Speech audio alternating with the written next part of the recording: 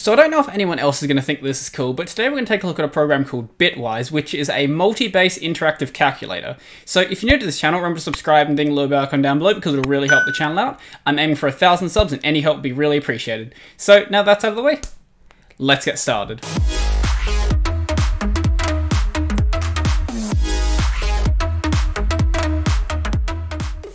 Good afternoon, everyone, and welcome back to the channel.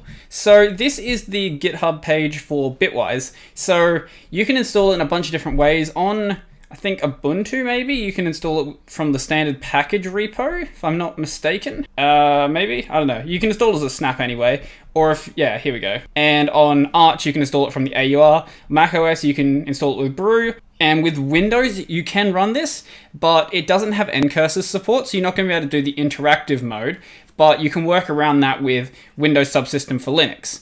So with this, it's actually pretty cool. So I'll show you the basic operation of it. So I'll bring up screen, I'll bring up screenkey in a second after I show you the basic stuff. So there's two main modes you can work with this. So you have the first mode, which is just to run bitwise with some sort of argument you pass into it, and you have the interactive mode. So I'm going to show you the first mode first. So if we want to do something like, let's say we want to run bitwise and we want to see what the binary value for 100 is, for example. So we pass 100 in and we get all of these results here. So the unsigned decimal, the signed decimal, the hexadecimal, octal, human readable, radix 64, ASCII, and the binary. And for the binary, it also tells you how big the byte is. So you can actually pass in calculations to this as well. So I can't remember the exact form for that, but it's shown up here. So, right, we have to put it in a string. So it will support any sort of C-style calculation syntax. I would have liked something like Python because you can easily do things like powers in that. I don't know how you do powers within C. If someone knows, it's probably a function, which is a little annoying. So I would have liked to have the Python syntax instead of C, but it's not a big deal. So if we want to do something like, let's say bitwise, and we pass in this, so let's pass in the, I don't know, binary for 2. Actually, will that even, will that treat as a 2 or that treat as a 10? I'm not sure how that's going to work with how you do the C-style calculations. I don't know if you can actually do C-style calculations like so, okay, yeah, that actually will treat it as binary values. So I assume you have to include the entire byte there. Otherwise, that's going to fail. Actually, wait, did I put that incorrect? 1, 2, 4, 8, 16, 32, 64, 128. Am I just forgetting how binary works? That should be 2, that should be 2. Those two together should be 4, not 16. Am I, I think I'm forgetting how binary addition works. Anyway, so with that, you can also do things like calculate hexadecimal values and octal values and all those sort of things that are listed here. But the more interesting mode is the interactive mode. So if we bring up that now, so if we don't pass in any argument, or we can pass in the dash i argument with some calculations, so we just pass in 10, that will bring up interactive mode with 10 passed in. So I'll zoom in on that a bit more. I'll bring up screenkey just to help out as well. So run that again. Okay, so now we are in interactive mode with a single byte and all of this in here. So you might be a bit confused about what you can do, but it's actually very simple. So you have Vim keys that you can move around with. This is the main reason I was interested in checking this out because I just like Vim keys. So you can use H, J, K, and L and move around as you would expect to be able to with Vim style keys. So they work exactly how you think they would. If you want to flip one of these bits, so let's say we want to flip this first bit in here to 1. So we press space and that will then flip that bit. And let's say we want to flip the most significant bit, we can flip that, and then that will flip that bit. So if you've never done any sort of binary stuff before, basically the way this works is going from right to left. So this first bit is valued at 1, and then 2, 4, 8, 16, 32, 64, 128. So if you just keep that in mind, then you can easily work out the calculations in your head. So you can do other things in here, like let's say so if we want to add another byte onto this, you can switch between each of the different byte sizes. There's an 8-bit version, a 16-bit version, a 32-bit version, and a 64-bit version. So to switch into 8-bit that we're in right now, you would just press the exclamation mark. Then for 16-bit, you press at, and for 32-bit, you press dollar, and then 64-bit you press asterisk. So if you will have noticed, those are the number of bytes in each of the different values that are available. So exclamation mark is above 1, at is above 2, dollar sign is above 4, and the asterisk is above 8. So if you just remember that in your head, then it'll be easy to actually remember what you have to press to switch between each mode. So if we drop back down to, let's say, 16, or not 16, 32-bit mode, and another thing you can do in here is you can shift the bits. So let's change this from that number of 139. I just forgot how numbers work for a second, ignore me. And let's put in 100. So if we do something like a bit shift to the right, so if you press the, I forgot in a previous video what this key was, the greater than sign, less than sign, this sign. Why am I forgetting what that sign is called? Anyway, you press that direction and that will move the, the bits one to the left. And we press it again, that'll shift it one to the left again. And if you notice, bit shifting is effectively a doubling if you go bit shifting to the left, and obviously then bit shifting to the right will then halve it. So we do that, and as you can see, it's halving it. So let's go back up to like 1600.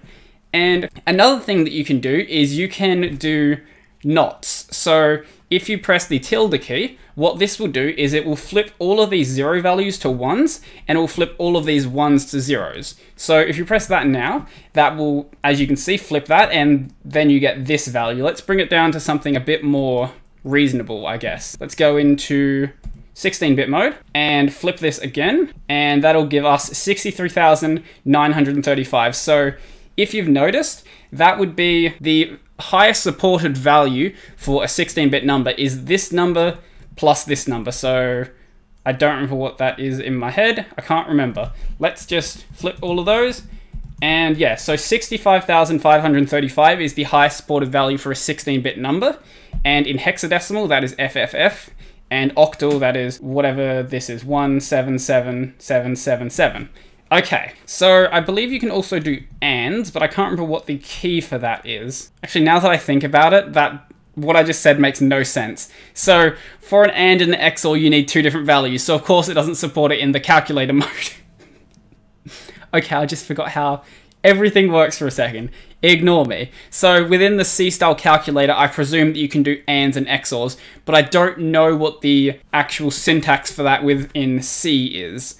I should have checked, but I don't remember. I think an AND is an ampersand, but XOR I'm not exactly sure about. Okay, so in here we also have the option to run commands. So if we press colon, like you would in Vim, then there's a bunch of different commands that you can run. So if we go down to the bottom of the GitHub page, it's got all the commands in here. So you've got the help screen, obviously. You can clear the history. So if we look in here, we should be able to see my history. No, okay, it just maintains the history for one instance. Okay, but the most basic thing you can do in here is you can run the calculator. So let's say we want to do 10 times 8, and that will bring up that value in the prompt up here, or the, the output up here. And by default, it'll output in hexadecimal, but let's say we want to output in decimal, for example. So if we change the output to decimal, I believe is the correct command, Yep, and then we can run that again, and that will then output that in decimal here. Or we could change that to output all, and that will then output all of the different supported values in here. And if we look in here, you can actually see what you can output actually in here. So I said output a lot in that sentence. Whatever.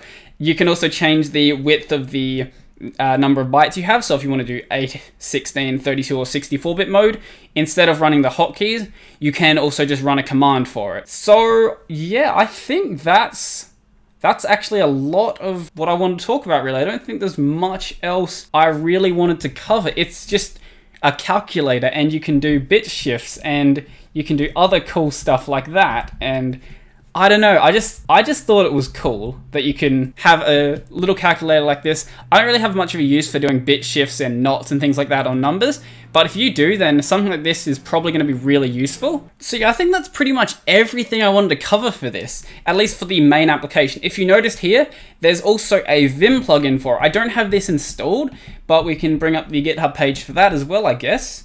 And yeah, I assume that it basically does everything that you could do within the main program that we just looked at, but within Vim. So if you have some use for that, and you probably do if you want a calculator for actually moving around bits, you probably also use a lot of other terminal applications. So maybe you want to integrate this with your Vim setup and do whatever it is that you're doing with your bit manipulation. I, I don't really know what you're going to do with it, but even just as like a, a simple calculator, this is actually pretty cool. So I might, you know, I might actually replace my current calculator setup where I'm, I'm kind of just using the Python shell to do basic calculations.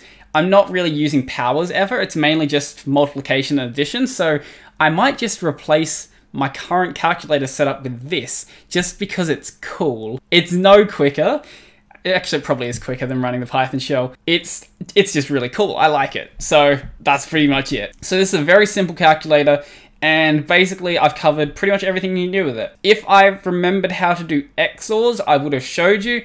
I'll probably look for how to do it after this video is done and then just put it in the comment section down below. So if you want to know, then check that out. So I think that's pretty much everything for this video. So if you like this video, remember to smash that like button and leave me a comment down below letting me know what you think. If you've got any other programs you want me to check out, leave them down in the comment section down below or on my Discord, and I'll check them out if they seem interesting, or if you make a really convincing argument that it's interesting at least. And I yeah, so check out my LBRY if you want to see my videos on a platform that isn't YouTube. But if you do want to be on YouTube, remember to subscribe and ding the little bell icon down below because it'll really help the channel out.